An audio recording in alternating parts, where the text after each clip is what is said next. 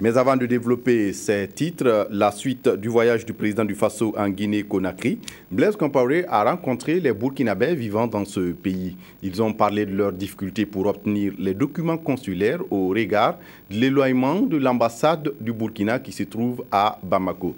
Viviane Tchendrebego. Il n'y a pas eu de recensement officiel, mais on estime le nombre de Burkinabés vivant en Guinée à 10 000. Ils travaillent essentiellement dans les mines d'or et de diamants, de même que dans l'agriculture. Dieudonné Francis Tiendrebego, par exemple, est arrivé en Guinée en 2011. Ce jeune horticulteur de 31 ans a trouvé un terrain favorable au développement de son activité évoluer dans le secteur des plantes ornementales, les plantes potagères et les plantes fruitières. Le métier nourrit un peu son nom, si on peut le dire ainsi, parce qu'il n'y a pas longtemps que je suis en Guinée, connaissant pas très bien le terrain, j'essaie de faire avec euh, les anciens. Donc je fais l'aménagement floral et l'aménagement des plantations aussi. Donc souvent je me déplace à l'intérieur du pays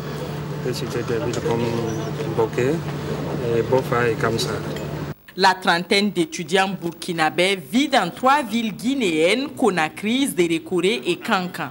Son Excellence a décidé de passer d'un contingent de 1000 bourses chaque année à un contingent de 2000 bourses et que par conséquent, je souhaitais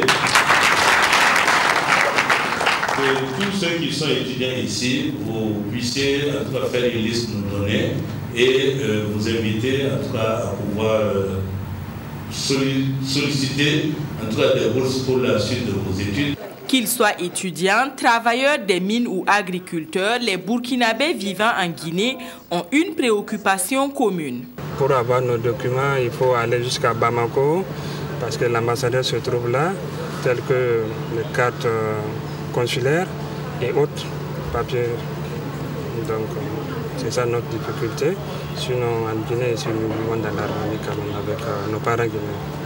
Ils en ont parlé au président du FASO en présence du chef de la diplomatie burkinabé. L'ouverture d'un consulat général suppose une programmation au budget et qu'on puisse euh, construire ou louer les locaux, nommer un consul général avec euh, deux ou trois collaborateurs qui vont venir rester ici en permanence avec vous pour s'occuper des questions consulaires, des questions qui vous concernent.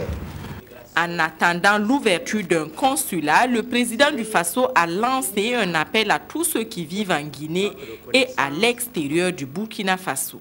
C'est aussi heureux de vous voir toujours mobilisés à l'écoute du pays, euh, toujours engagés avec nous. Et notre euh, souhait, c'est de vous voir continuer d'être avec nous dans ce combat de dignité même pour notre société, euh, ce combat qui nous est destiné, parce que c'est notre génération, nous avons trouvé le pays avec des limites et nous devons bien sûr faire en sorte, grâce à notre travail, à notre solidarité, que ce pays bouge, mais surtout bouge dans le bon sens. Les Burkinabés sont repartis satisfaits, disent-ils, de cette rencontre.